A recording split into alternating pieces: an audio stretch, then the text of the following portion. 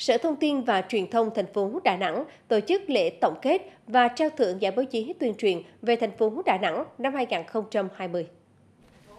Qua gần 5 tháng phát động, ban tổ chức đã nhận được hơn 200 tác phẩm dự thi với nhiều thể loại thuộc ba nhóm đề tài.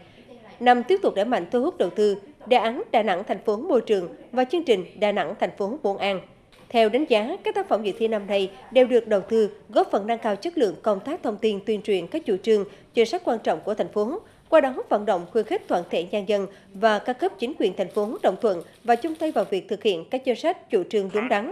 Ban tổ chức hy vọng giải báo chí tuyên truyền về thành phố Đà Nẵng những năm tiếp theo sẽ tiếp tục nhận được sự ủng hộ, hưởng ứng và tham gia của nhiều tác giả, nhóm tác giả cùng nhiều tác phẩm dự thi với nội dung phản ánh đa chiều hơn, từ phản ánh tồn tại, biểu dương mặt tích cực đến phát hiện những sự việc có vấn đề và đề xuất hướng giải quyết các vấn đề, góp phần làm phong phú nội dung phản ánh của từng nhóm đề tài. Và hơn thế nữa là giúp cho công tác tuyên truyền các chủ trương, chính sách của thành phố đi vào đời sống một cách hiệu quả, thiết thực.